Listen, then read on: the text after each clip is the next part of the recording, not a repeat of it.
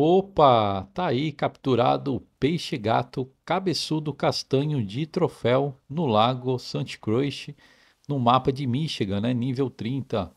Então tá aí, pessoal, a captura dele. Mostrei um spot aqui bem fácil de capturar, tá? É, para quem é, quiser capturar ele e tiver dificuldade, então esse vídeo aí com certeza é para poder ajudar. Beleza? Então tô aqui, pessoal, nesse pier aqui, né? De concreto.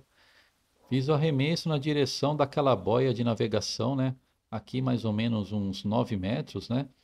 Então é um spot fácil de capturar, tá? Aqui com certeza vai te ajudar muito. Bom, pessoal, então vamos ver aqui, né?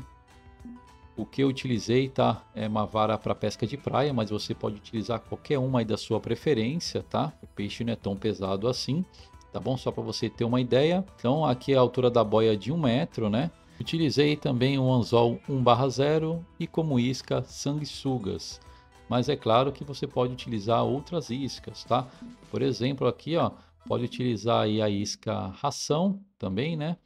Não é bem efetiva como sanguessugas, tá? Mas pode utilizar ração e também se você preferir aí gafanhotos, beleza?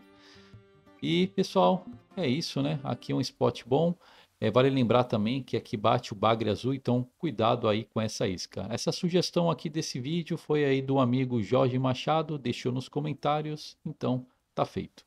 Então é isso aí pessoal, muito obrigado por ter assistido, valeu e até a próxima. Abraço.